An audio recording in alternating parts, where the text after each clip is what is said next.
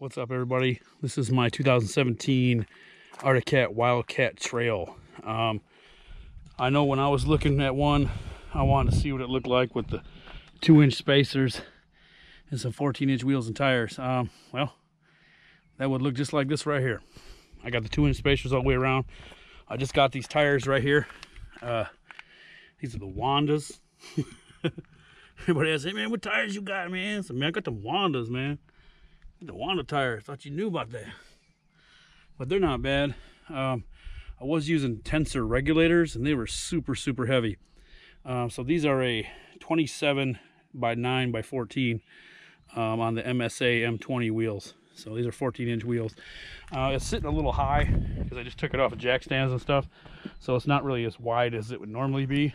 So um, can't really go by this, but we're going to test these tires out and uh, see how they do. They should be a lot lighter weight. Supposedly they're 10 pounds lighter than the tires I had on it each. So 40 pounds of weight saving just by getting these tires.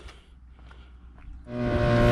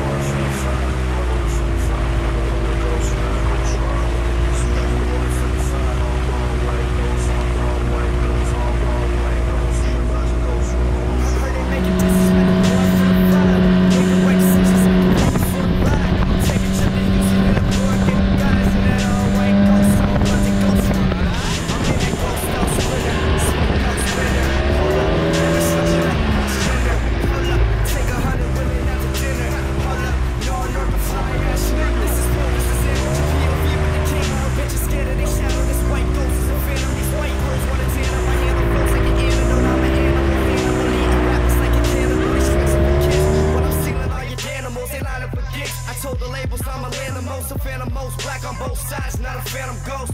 But put me in my lane and I'ma find a lead.